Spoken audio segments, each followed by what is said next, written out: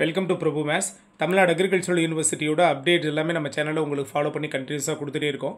So ரொம்ப முக்கியமான நேரத்தில் நம்ம இருந்துகிட்ருக்கோம் ஜென்ரல் அகாடமிக் ஸ்ட்ரீமில் இருக்கிறவங்களுக்கு சீட் அலாட்மெண்ட் வந்து ரிலீஸ் ஆகிடுச்சு ஸோ ஸ்லைடிங் சம்மந்தமாக நிறைய பேர் வந்து கொஷின் கேட்குறீங்க செகண்ட் ரவுண்ட் அலாட்மெண்ட் வருமா வராதா அப்படிங்கிறது கேட்குறீங்க செகண்ட் ரவுண்ட் கவுன்சிலிங் நடக்குமா?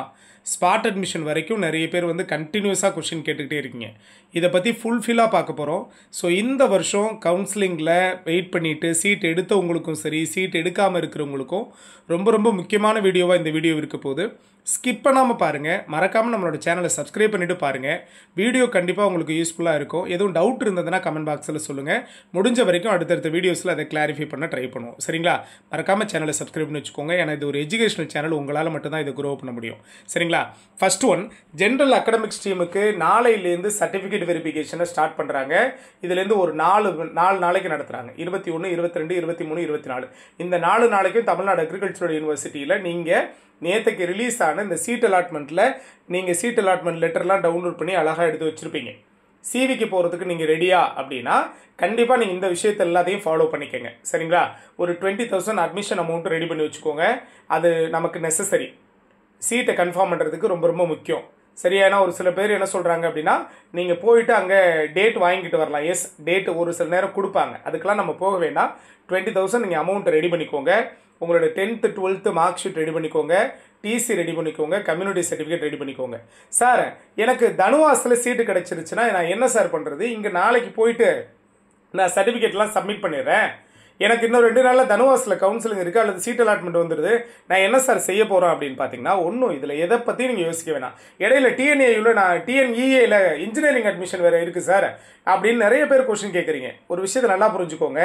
ஃபஸ்ட்டில் உங்களுக்கு எந்த சீட்டு கிடைக்குதோ அதை முதல்ல கன்ஃபார்ம் பண்ணிடுங்க சீட்டை கன்ஃபார்ம் பண்ணிடுங்க வேறு வழி இல்லை அப்படின்னு யோசிக்க வேண்டாம். வழி நிறைய இருக்குது சீட்டை கன்ஃபார்ம் பண்ணி உங்களுடைய சர்டிஃபிகேட்லாம் நீங்கள் அங்கே சப்மிட் பண்ணிட்டு வந்துட்டீங்கன்னா நீங்கள் சர்டிஃபிகேட்லாம் சப்மிட் பண்ணும்போதே உங்களுக்கு ஒரு அட் அக்னாலேஜ்மெண்ட் லெட்டர் ஒன்று போனஃபைட் ஒன்று கொடுப்பாங்க. அக்னாலேஜ்மெண்ட் லெட்டர் ஒன்று கொடுத்துருவாங்க. இந்த சர்டிஃபிகேட்லாம் இங்கே சப்மிட் பண்ணியிருக்காங்க அப்படின்னு. அந்த போனஃபைடு போதும். நீங்கள் தனுவாஸில் அதுக்கப்புறம் சீட் எடுத்தாலும் சரி ஆறு இன்ஜினியரிங் அட்மிஷனுக்கு நீங்கள் போய் சீட்டு கொடுத்தாலும் சீட் எடுக்க எடுத்தாலும் சரி நீங்கள் அங்கே போயிட்டு எதை சப்மிட் பண்ணால் போதும்? இப்போ டிஎன்ஏயில் நீங்கள் சர்டிஃபிகேட்லாம் சப்மிட் பண்ணப்போ கொடுத்த அக்னாலேஜ்மெண்ட் லெட்டரை மட்டும் கொடுத்து உங்களுக்கு இன்கேஸ் அந்த சீட்டை நீங்கள் கன்ஃபார்ம் பண்ணிக்கலாம். உங்களுக்கு இப்போ தனுவாஸில் தான் நீங்கள் சீட்டுக்காக வெயிட் பண்ணுறீங்க ஆனால் அக்ரியில் முதல்ல சீட்டு கிடச்சதுனால ஜாயின் பண்ணிட்டீங்க அப்படின்னா நோ ப்ராப்ளம் அங்கே கன்ஃபார்ம் ஆனதுக்கப்புறம் நீங்கள் இங்கே வந்து சர்டிஃபிகேட்லாம் நீங்கள் வாங்கிக்கலாம். டுவெண்ட்டி தௌசண்ட் அமௌண்ட்டையும் ரீஃபண்ட் வாங்கிக்கலாம். எந்த பிரச்சனையும் கிடையாது.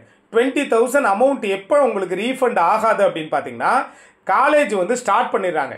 நீங்கள் கோர்ஸ் எல்லாம் கம்ப கன்ஃபார்ம் பண்ணிவிட்டு காலேஜ் எல்லாம் கன்ஃபார்ம் பண்ணிவிட்டு காலேஜ் வந்து உங்களுக்கு ஸ்டார்ட் பண்ணுறாங்க அக்ரியோட காலேஜ் வந்து ஸ்டார்ட் பண்ணுறாங்க டே ஒன் நீங்கள் போயிட்டு அட்டண்டன்ஸ் போட்டுடுறீங்க அதுக்கப்புறம் தான் உங்களுக்கு டுவெண்ட்டி தௌசண்ட் அமௌண்ட் வந்து கேன்சல் சரிங்களா? அதுக்கப்புறம் தான் உங்களுக்கு ரீஃபண்ட் ஆகாது.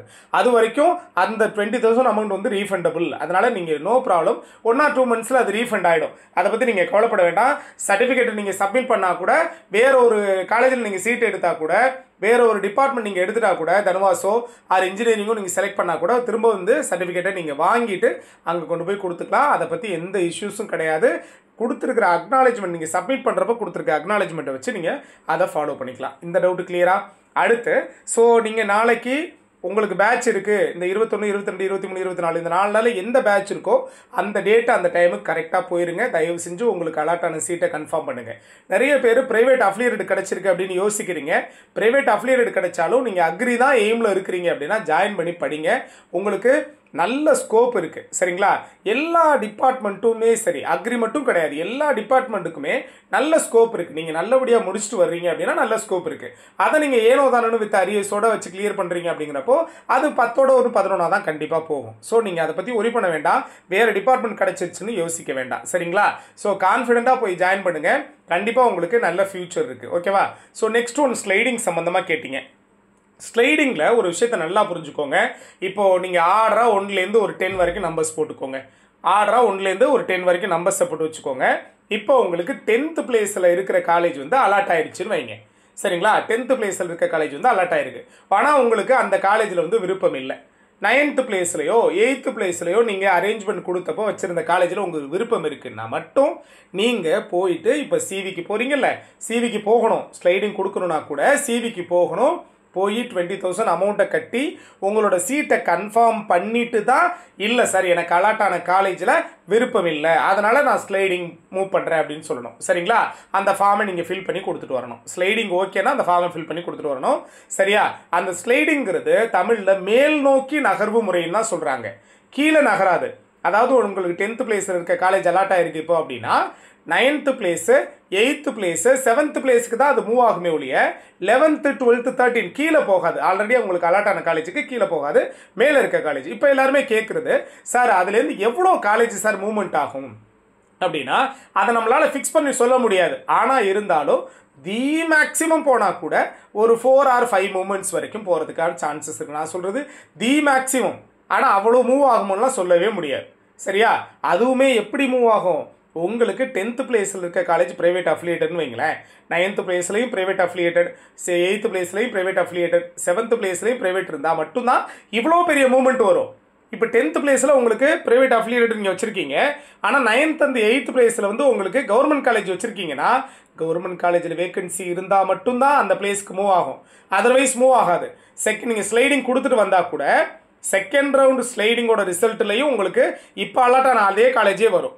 மேலே இருக்கிற காலேஜில் வேக்கன்சி ஆனால் மட்டும்தான் உங்களுக்கு ஸ்லைடிங்கில் ரிசல்ட் வந்து மாறி வரும். வேறு காலேஜ் அலாட் ஆகி வரும். இல்லைன்னா இப்போ உங்களுக்கு எந்த காலேஜ் அலாட் ஆகிருக்கோ அதே காலேஜே எத்தனை ரிசல்ட்டு வந்தாலும் அதே தான் வரும். நிறைய பேருக்கு ஒரு கேள்வி கேட்குறீங்க சார் ஸ்லைடிங் கொடுத்துட்டோம். எங்களுக்கு இடையில வந்து ஸ்லைடிங் டூவோட ரிசல்ட் வருது. அந்த கா அந்த காலேஜில் போய் நாங்கள் ஜாயின் பண்ணலாமான்னு? அது முடியாது.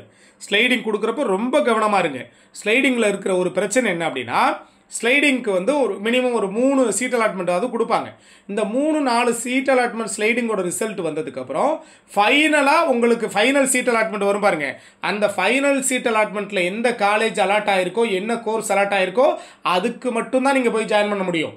இடையில எத்தனை அலாட்மெண்ட் மாறி வந்திருந்தாலும் அதிலலாம் நீங்கள் போய் சேர முடியாது. லாஸ்ட்டாக ஃபைனல் அலாட்மெண்ட்டில் எது வருதோ அதில் தான் போய் சேர முடியும். ஸ்லைடிங் கொடுக்குறப்ப ரொம்ப ரொம்ப கவனமாக இருங்க. ஒரு சில பேர் கோர்ஸ் அண்ட் கேம்பஸ் ப்ரிஃபரன்ஸ் மாற்றி கொடுத்து கொடுக்க தெரியாமல் அவங்களோட எய்ம் அக்ரியாக இருக்கும். இப்போ டென்த் பிளேஸில் இருக்க காலேஜ் அக்ரியாக இருக்கும். இன்கேஸ் நைன்த்து பிளேஸில் எயித்து பிளேஸ்லையோ அக்ரிகல்ச்சர் இன்ஜினியரிங்கோ ஆர் பிடெக் ப்ரோக்ராம்ஸோ ஆர் அவங்க வந்து வேறு ஏதாவது ஹார்டிகல்ச்சரோ செரிகல்ச்சரோ வச்சுருந்தாங்கன்னா உங்களுக்கு ஸ்லைடிங் மூவ் ஆகிறப்ப அது கூட மூவ் ஆகி வர்றதுக்கான சான்சஸ் இருக்குது ஸோ ரொம்ப ரொம்ப கவனமாக இருக்கணும். சரிங்களா? நிறைய பேர் வந்து சார் எனக்கு டென்த்து பிளேஸில் ப்ரைவேட் காலேஜ் இருக்குது நைன்த்து பிளேஸில் வந்து கவர்மெண்ட் காலேஜ் இருக்குது அதனால் நான் மூவ் பண்ணலாமா? நை கவர்மெண்ட் காலேஜை பொறுத்த வரைக்கும் சீட்ஸில் அந்தளவுக்கு வேகன்சி வராது. வந்தால் மூவ் ஆகும். அதனால் நீங்கள் கான்ஃபிடெண்ட்டாக கொடுங்க பார்த்துக்கலாம் சரிங்களா? தென் அதுக்கப்புறம் பார்த்துக்கலாம் வேகன்சி இருந்தால் மட்டும்தான் வேறு காலேஜ் அலாட் ஆகி வரும் ஸ்லைடிங்கோட ரிசல்ட்டில் இல்லாட்டி அதே காலேஜ் தான் வரும். ஸ்லைடிங்கோட உங்களுக்கு ப்ராசஸை கம்ப்ளீட் பண்ணியாச்சு. அடுத்து செகண்ட் ரவுண்ட் கவுன்சிலிங் பற்றி கேட்டிருந்தீங்க. செகண்ட் ரவுண்ட் கவுன்சிலிங் வந்து வரகிறதுக்கு ரொம்ப ரொம்ப ரேர் ஏன்னா அவங்க என்ன சொல்லியிருக்கிறாங்க நாங்கள் சப்போர்ட்டிங்காக ஒரு கவுன்சிலிங் பின்னாடி நடத்துவோம். எப்போ? கேண்டிடேட் ரெக்குவயர்மெண்ட் இருந்தால் மட்டும்தான். ஃபஸ்ட் ரவுண்ட் அல ஃபஸ்ட் ரவுண்ட் கவுன்சிலிங்லேயே நிறைய பேருக்கு வந்து சீட் கிடைக்காம இருக்கே. நாலாயிரத்தி எழுநூறு பேருக்கு தானே சீட்டு கிடச்சிருக்கு. ஃபஸ்ட் ரவுண்ட் கவுன்சிலிங் அட்டன் பண்ணிட்டு ஏகப்பட்ட பேர் இருக்காங்களே. இன்னும் அவங்களுக்கு சீட்டு கிடைக்காம. So first round counselling attend பண்ணிவிட்டு வெயிட் பண்ணுறாங்க பாருங்கள் இப்போ ஃபஸ்ட் ரவுண்டு சீட் அலாட்மெண்ட் வந்து வந்துருச்சு. அவங்கள தாண்டி இன்னும் வந்து சீட்டு கிடைக்காம இருக்காங்களா? அவங்களுக்கு தான் செகண்ட் ரவுண்டில் சீட் அலாட்மெண்ட் வந்து வரும். செகண்ட் ரவுண்ட் கவுன்சிலிங் நடக்காது. செகண்ட் ரவுண்டில் சீட் அலாட்மெண்ட் வந்து வரும். இப்போ இருபத்தி நாலாம் தேதி வரைக்கும் ஷெட்யூல் போட்டிருக்கிறாங்க. இருபத்தி அஞ்சாம் தேதியை போல் செவன் பாயிண்ட் ஃபைவ்க்கு செகண்ட் ரவுண்ட் அலாட்மெண்ட் வந்துடும் சரிங்களா? அடுத்து உங்களுக்கு second round seven point five complete ஆன அடுத்த செகண்டே உங்களுக்கு செகண்ட் ரவுண்ட் அலாட்மெண்ட் வரும்.